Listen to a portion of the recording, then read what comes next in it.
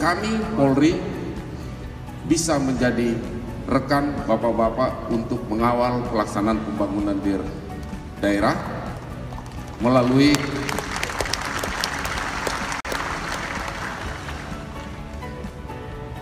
melalui konsultan yang solutif. Bapak-bapak harus menggandeng para Kapolres dan saya juga minta para Kapolres tidak merupakan bagian dari permasalahan yang ada di daerah.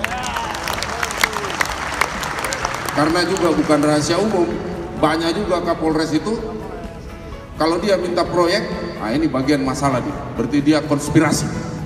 Kalau dia begitu, para gubernur, wali kota, silakan hubungi saya, nanti saya carikan pemain cadangan.